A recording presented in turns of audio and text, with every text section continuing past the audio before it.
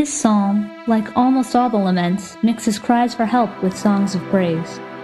When I pray these psalms in times of trouble, singing joyous and loud to wake the dawn, I'm not trying to forget or whitewash suffering.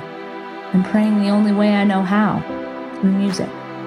And so I sing, even when the only thing steadfast about my heart is its rhythm, the drumbeat to a song I am trying to believe. I rest in the shadow of your wing.